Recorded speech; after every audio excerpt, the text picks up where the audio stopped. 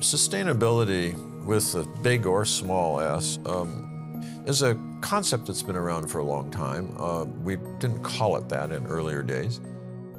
And it's become very important to a lot of people, and it's now on everybody's radar.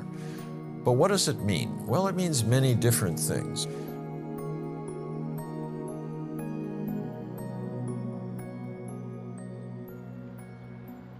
A lot of people think that it's the green stuff, but in fact, if you think about sustainability, it's a larger general concept dealing with social issues and environmental ecological issues and economic issues. I think a key part of sustainability in landscape is responsiveness. Responsiveness to not only the needs of the client, to the program, but also to the needs or demands of the ecology of the place that you're working. For me, it also means connectivity. That means the fact that we have adopted and understand that the world is an ecosystem and that we're all connected means that we have to act as if we're all connected. And in order to sustain our own life, we have to sustain the life of the plants, of the rivers, of the air, of the animals. It's that connectivity which is essential. More and more with changing climate globally, I think we're finding that landscapes have to not only tolerate but actually embrace a regime of disturbance and become resilient in the face of disturbance. But we can't really ignore the fact that inundation, floods, drought, high winds, these things are going to have an effect on our landscapes. A great example that's very relevant right now is sea level rise.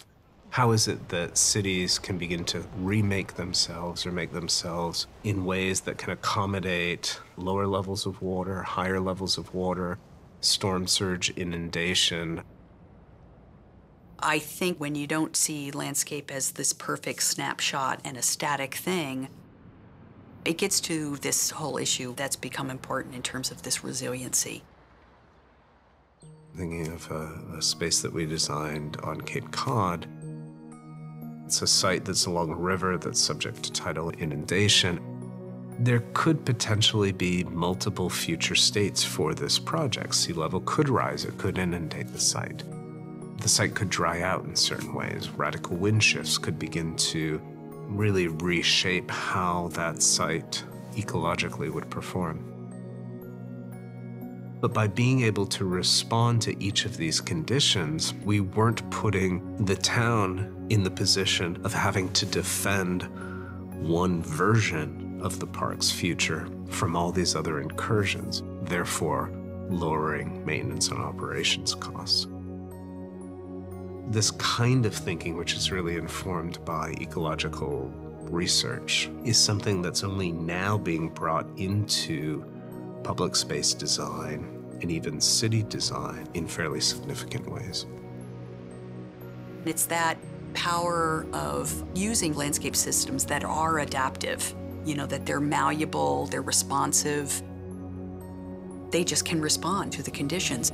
And that's sustainability in terms of just even exposing those processes and allowing them to become a part of the built work. And it has to be uh, social as well as, as environmental because these changes involve people now. You can no longer say we're just in a world of environmental planning, ecological planning that's about the environment. It all involves people now because it all involves land use. When you build a piece that is really good for the public, they understand that. They understand that an effort has gone in. They understand when you build something well for them, that you're saying to them, I care about you. And I think that means they start caring about it, thus it becomes more sustainable. Sustainable design is if you're creating something that people love, they will cherish it, it'll, it'll last. When we did Bryant Park, it was unsustainable. It was going downhill and everybody hated it. Nobody knew what to do with it. Now, after we redid it, people love it and they really take care of it and it now generates enough money for its own maintenance. Producing things that people value and desire and, and like and want to be in raises the ability for them to take care of it. Some part of design is actually defensive, finding things that can sort of withstand abuse at some level. And other parts of it are much more kind of uh, aspirational, where you have to create something that you hope will be beautiful enough or loved enough that people will really want to take care of it.